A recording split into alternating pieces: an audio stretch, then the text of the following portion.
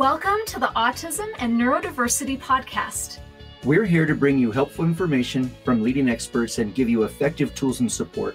I'm Jason Grigla, a licensed counselor and founder of Techie for Life, a specialized mentoring program for neurodiverse young adults. And I'm Debbie Grigla, a certified life coach. And maybe most importantly, we're also parents to our own atypical young adults. Hello, friends, welcome. I am so glad you're here, especially if you are a worrier. If you're a self identified worrier, or if you just worry sometimes, this is what we're talking about today. Because worrying is one of the most unhelpful things that we can do as parents to parent from fear. And it doesn't feel great. Okay. It feels terrible. It feels super stressful and anxious. And when you have an autistic or a neurodivergent child, teen, or young adult that struggles and has challenges, there are plenty of things you could spend lots of time worrying about. What's going to happen to them? What if I don't know what to do to help them? What if they don't fit in or never have friends? What if they get bullied or taken advantage of? What if they have more meltdowns? What will we do if they aren't motivated? What if they don't do good in school? What if the school doesn't give them what they need? What if they get bad grades and can't get into a good college? What if they won't eat healthy and take care of their body and they're going to get diabetes? What if something bad happens to them? What if they'll never be capable of being independent? What will happen to them when I die? These are the kinds of worries that I hear a lot from parents, and I also struggled with many of these worries and spent a lot of time worrying about these kinds of things. And when you're worrying, not only does it feel terrible, it also doesn't make us better at our job of parenting. And it for sure doesn't help us support our kids' development if we're overindulging in worry. So let's talk about why it is so unhelpful. Besides the fact that it feels lousy, it also depletes us of energy. If you find yourself exhausted and close to burning out often, the worry habit might be a big contributor to that exhaustion for you. And I want you to think about what you do when you worry about your children. When I'm in in mom worry mode, my brain just spins and spins and it thinks of all the different angles of all the potential problems and how terrible it's going to be. And I get very anxious and worked up when I'm in that headspace.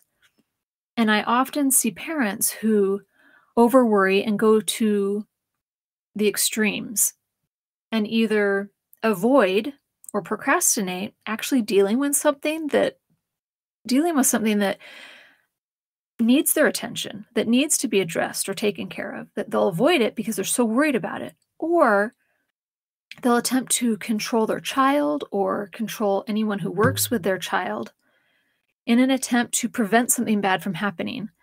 So I see those two extremes kind of pop up in the, the big worriers. They're either avoiding or they're trying to control everything. And the other thing that is really common when we jump on that worry bus is that we have a tendency to catastrophize things or get very black and white, all or nothing in our thinking. Like it can only be the worst, you know, it can't possibly go well. Um, just like those extremes. And it's really common to get really rigid and inflexible. Like it has to be a certain way because it feels like a life or death dangerous thing that we're worried about that we're trying to prevent from happening.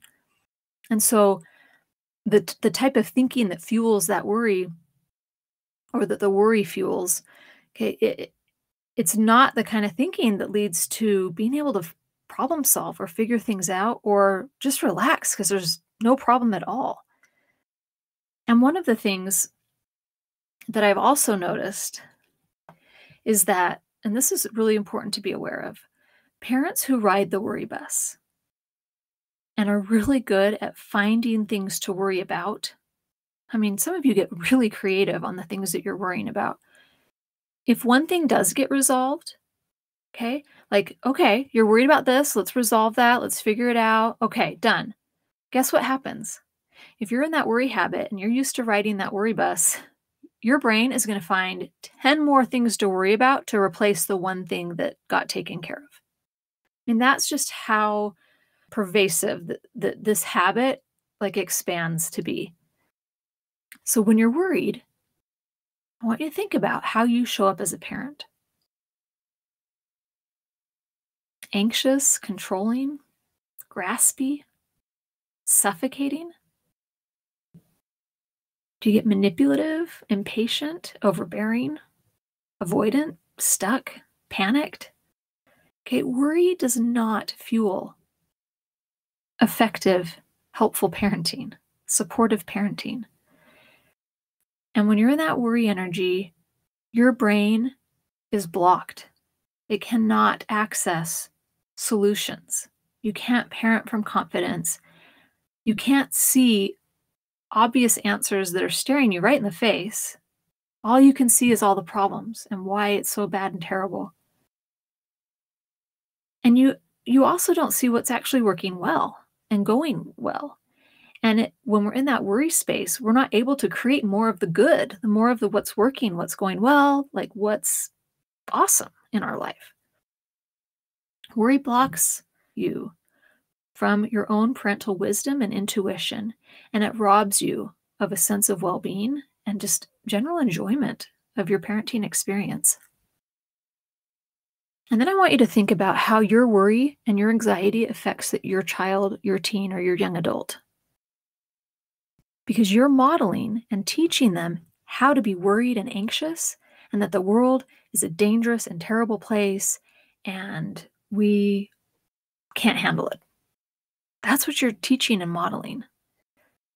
You're adding stress to your interactions with them and their experience of life. And if you're thinking, well, Debbie, I don't let my kids know I'm worried about them. I mean, I've had parents tell me this. I don't let my kids know that I'm worried about them. My answer to that is it's impossible to hide it from them. You can't help but show that you are worried or anxious. They sense it. They may not know, they may not be completely aware consciously, but subconsciously they pick up on it. They they sense it because when you're worried, like your choice of words is is subtly affected, your facial expressions, um, your tone of voice, and, and the words that you don't choose, what you aren't focused on, your kids sense it. You're not hiding it. Like, just stop fooling yourself right now. They're, you're not hiding it. Your kids sense it. And if you are trying to hide it, that means you're trying to be fake with your kids. Okay. Is that really how you want to show up and parent your kids from a completely inauthentic, dishonest place? And you know what you aren't doing when you parent when you're worried? You're not supporting your kids and equipping them to handle their problems and challenges with confidence. And many studies show a correlation between parents with ele- elevated anxiety having kids with elevated anxiety and depression and other issues. Worry doesn't prevent bad things from happening. It doesn't help us solve problems. And it doesn't help us parent in loving, connected ways. Worry does keep you distracted. So, years ago, I read a book called The Gift of Fear. Excellent book. I highly recommend it. Um, I will link to it in my show notes. But it was a, I think it was an FBI, if I remember right. It's been a while since I read it, but it, he was an FBI guy and he studied fear and he studied scenarios where people were able to get out of very dangerous situations and they were trying to figure out how did they get out of those dangerous situations and what they discovered is is that people the, our subconscious is actually really good at picking up on cues and and noticing things and these people that were able to get out of very dangerous situations when they look back they they realize that they had noticed different things that kind of clued them in that this was dangerous they need to get out of there. And i thought that was so fascinating. And then what so there's a gift like our brains do pick up on things that we need to be aware of or that should bring us you know that should move us to action to to deal with it to to handle a situation but then this was interesting to me he talked about how when people like were imagining things like when they're worried like ooh there could be something there could be a bad guy like if you're walking down a dark street like ooh there could be somebody bad behind that dumpster or you know there could be someone dangerous behind that corner when you're distracted by imagined worries you actually your brain misses the actual cues of actual danger because you're distracted by imagined worries. Now, when you think about that for a minute as a parent, if you're so worried and caught up with, on these imagined sort of catastrophizing type in way into the future worries, you're you're probably missing what's right in front of you. You're missing opportunities to connect, you're missing opportunities to teach, to support, to maybe intervene. You're missing those because you're so worried about other stuff that could happen and you're not seeing what's actually in front of you. So, why do we worry? I mean, we've talked about it a little bit, but I want to really point this out. Why do we worry? Well, because you have a human brain. Okay. And your brain's job, its number one job, is to keep you alive and safe. And so in primitive times, the brain was like looking out for, like, is there a potential tiger behind that bush, right? Because I need to book it the other direction if there's a tiger or be ready to, to defend myself. So the brain was looking out for life and death situations. Okay. But now in modern times, it's not typical to have a tiger jumping out at you to eat you. Okay. But then our brain is looking for, oh no, there, there could be a bad grade or there could be a bully and we think, and the brain treats it like it's a life and death situation when it's not. It's actually not.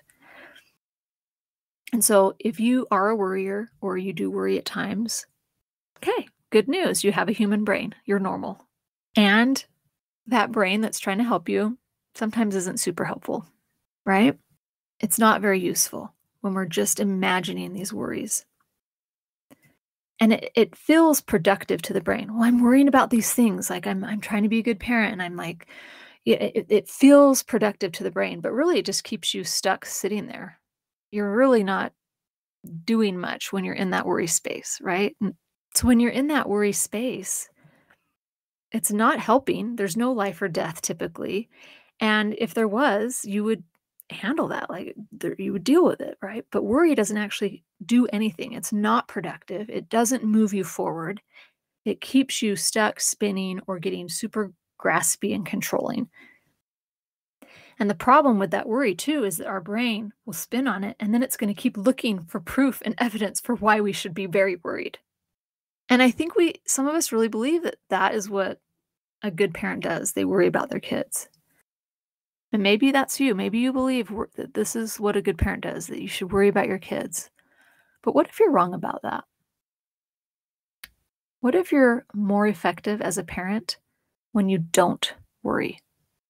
For many of you, it's such a habit and how you are in the world that you would actually feel really uncomfortable without constantly worrying. It's like your favorite stuffy or your favorite blanket it's almost like if you didn't worry, something by, bad might actually happen.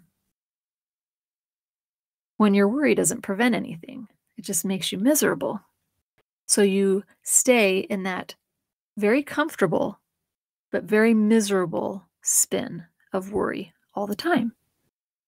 And your neurodivergent child, teen, young adult is going to have challenges whether you worry or not. They're supposed to have challenges. And worry doesn't change that. So now what? If you would like to manage your worrying brain better so that you can better support your kids' development and their sense of well being and actually build a, a close connected relationship with them where you're able to collaborate with them and, and support them in their development, I have several tools that can help you, and I want to offer a few here for this episode. I want you to first ask yourself is this worry helpful or hurtful? If it's hurtful, if it's really, there's nothing to be worried about, it's just, yeah, there's all these million possibilities, right? But if If the thing you're worrying about is not actually helpful to be worrying about, thank your brain for trying to be helpful and then get back to thinking about what would be helpful. I also encourage you to make peace with those worst case scenarios that your brain is offering and ask yourself how you could actually still be okay, even if the worst were to happen. How can you be okay, even if it's hard or sad or disappointing or all those kinds of things? How can you still be okay? And here's a big one. If you've really got the habit of worrying, and this is something you've done for a long time, maybe your mom was a worrier. I mean, my mom's a worrier, my grandma's a worrier. It runs in my family. I, and I'm very happy to be off that worry train, that worry bus most of the time. I challenge you to give equal time, okay, because you're really good at all the worst case scenarios. But I challenge you to give equal time to best case scenarios. I mean, if we're going to imagine things, we might as well give equal time to positives, like to the miracles, to the wonderful things that can happen, to the best case scenarios. Your brain's default is always going to be worst case scenario. So you actually have to intentionally create the habit of, of giving equal airtime to the best case scenarios. And you know what? They're way more fun to think about. I promise. And then I encourage you to try on some worry buster thoughts. Okay, so some of mine are, and there's lots of them, but in in different situations too. But like some general ones that I that are go tos for me are to agree, like with my brain. If it's like offering up a, oh no, this could happen, like, yeah, of course it could, it could happen, and we'll figure it out if it does. We'll figure it out. I also kind of get sarcastic with myself and I'd be like, yeah, I should totally spend all my time and energy today worrying about this thing that hasn't happened, that may never happen, that probably will never happen, that's totally out of my control. I can't do anything about it. It's unsolvable today, etc. Right? Like I should totally spend all my energy worrying about that. Yeah, hard no on that one. Okay. So I kind of will get a little bit sarcastic with myself. And I, I just love just in general to believe that no matter what, it's going to be okay. It's going to be okay. Some of my some of the biggest growth and development that I personally have experienced has been from going through hard things. So even though the hard thing you don't want to go through it, right? I'm like I didn't want to go through some of the hard things that I've been through.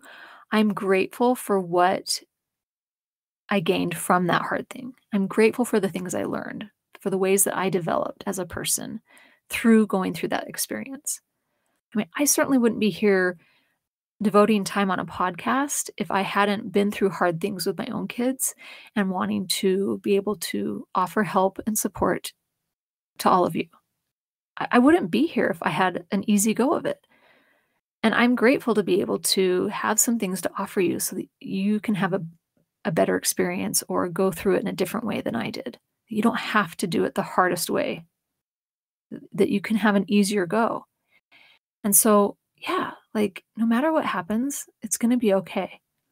So I want you to think about what thoughts help you calm your runaway, worry spinning brain and think about those and which ones could be your go tos.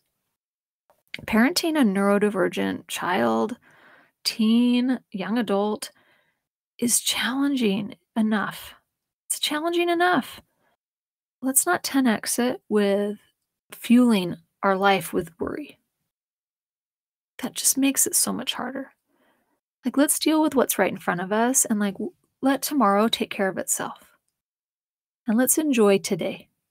I hope you have an amazing best case scenario week and make sure that if you, that you get on my email list um, because I have some good stuff coming out and I don't want you to be missing out on it. So make sure you get on my email list. Have an amazing week. Take care. Thanks for joining us on this episode of Autism and Neurodiversity with Jason and Debbie. If you want to learn more about our work, come visit us at jasondebbie.com. That's J A S O N D E B B I E.com.